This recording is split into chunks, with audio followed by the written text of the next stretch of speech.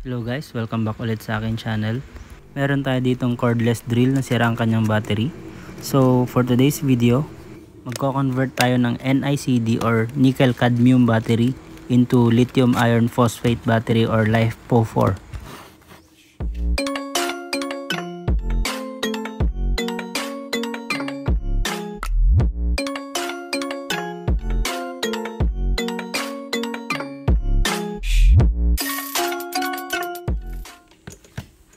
Double check natin kung sira na talaga yung battery. Wala na talagang laman.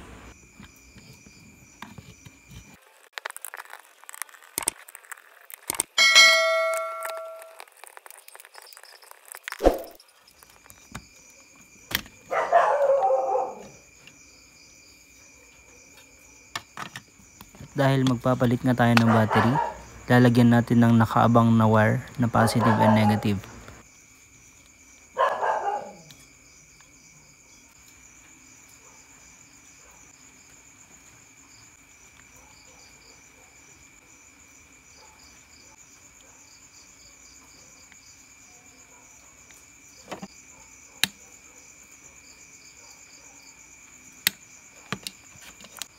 Tapos ibalik na natin yung takip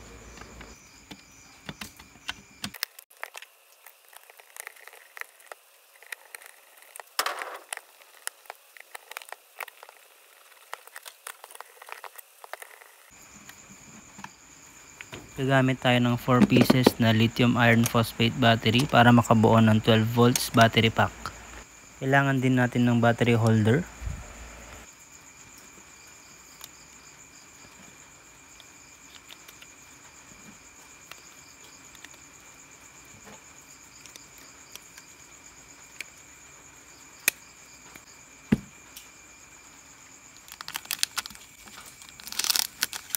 kailangan din natin ng 30 amps BMS for protection.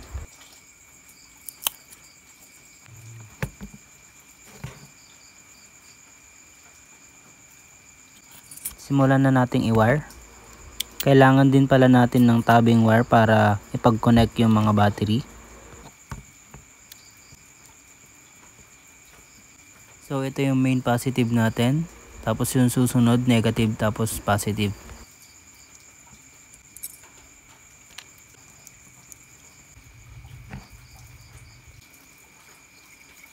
Ganon ulit from negative to positive hanggang sa matapos yung apat na connection.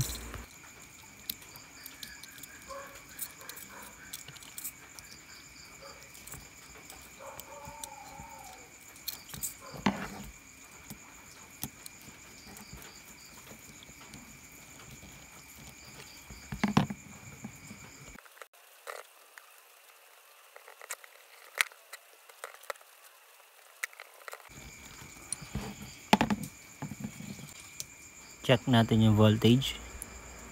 So i-wire na natin yung BMS sundan nyo na lang yung diagram na nasa screen. Ito yung main negative natin. Tapos yung B1 dun sa first positive.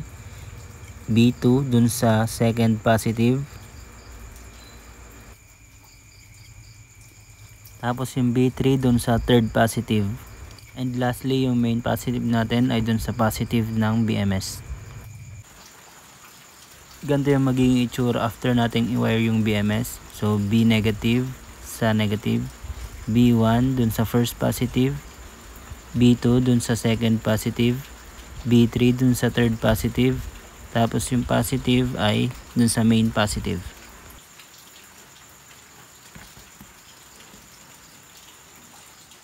Binalutan ko na rin pala ng shrinkable para mas magandang tignan. And then i-mount na natin kung saan natin ipepwesto yung uh, battery.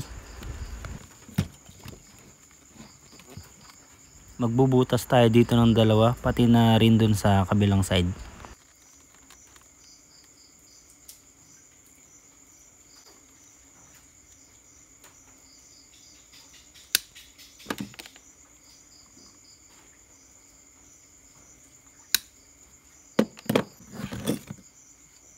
i-connect na natin yung nakaabang na wire dun sa ating battery pack.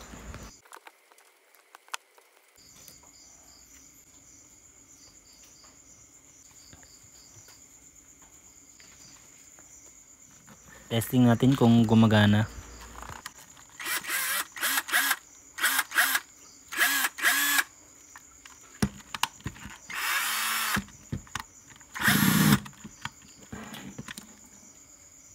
I-fix natin ang battery pack gamit ang cable tie.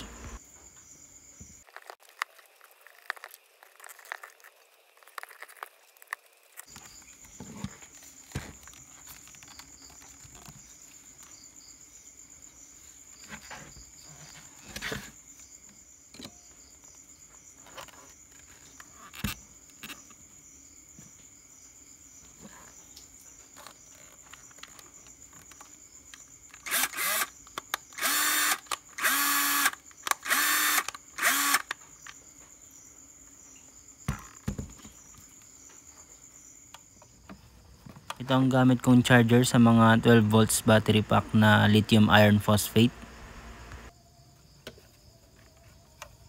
Dahil may built-in charging port yung cordless drill natin, pwede natin ditong isaksak.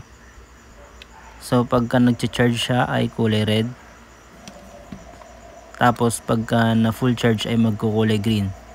Few minutes later.